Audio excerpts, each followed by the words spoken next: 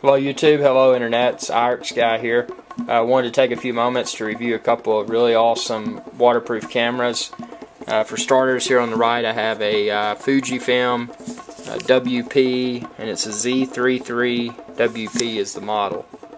Um, it's, it's a great camera. I've taken a lot of uh, snorkeling videos across the world in saltwater. Uh, the video turns out very good quality. Uh, the still photos are good quality as well. Now it's not just a, a, a camera for use in the water. Works really well with uh, with shots out of the water too. And of course it's got a flash. Um, I'm not a photography expert by any means, but it's it's simple to use. It takes SD card and uh, and then all of the uh, the SD card and the batteries enclosed in here. So it does a good job of keeping the water out. Haven't had any leaks with this camera yet. And one of the advantages to this camera, to this Fuji Z33 WP, if you're an Apple user like I am, it uh, it'll import both the video and photos directly into uh, into the iPhoto program. Uh, whereas the next camera we're going to uh, go to, but before we go to that, I wanted to point out this. Uh, it's called a Chums Got this chums thing from Amazon for about five bucks, and I put one on each camera. It floats. So if you drop your camera in the water, it, it should float, and you won't have to dive down to get it. So I highly recommend that. Uh, now the other camera I have here, this is a uh, Panasonic Lumix. Uh, it's a model number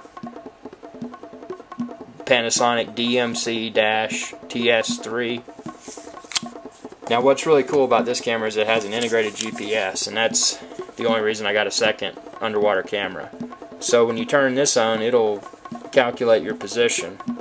So when you're making photos and you're on a trip, come back and plug it into your photo software, and on a map it'll show exactly where the photo was taken. And that's good if you like to share photos on uh, a Panoramio, which links in with Google Earth and similar services. It just makes it a lot easier than having to uh, look at a map and guess where you were. Uh, this should do it. I think it's about five feet of accuracy. I mean, it's using satellites in orbit.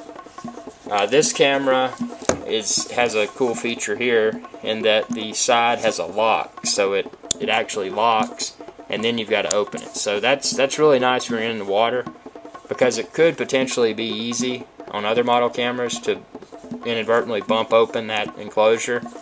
And of course, if you did when you were submerged, you would uh, you would kill the battery, possibly the memory card, and, and more than likely the camera would never function again. So I like the locking feature on this. Also, one thing that's in, incredible about this camera is the video quality.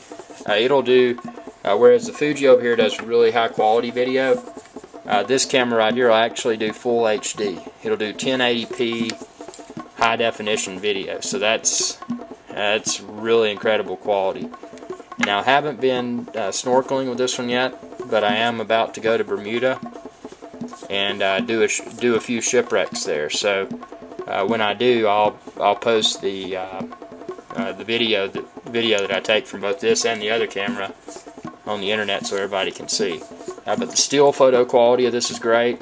Of course, it it geotags both the still photos and videos, as we mentioned earlier, and it's it's a really uh, I would say nowadays I would probably go with an underwater or waterproof camera that has a GPS if if you're into that because it's it's really nice to be able to know where the photos were taken.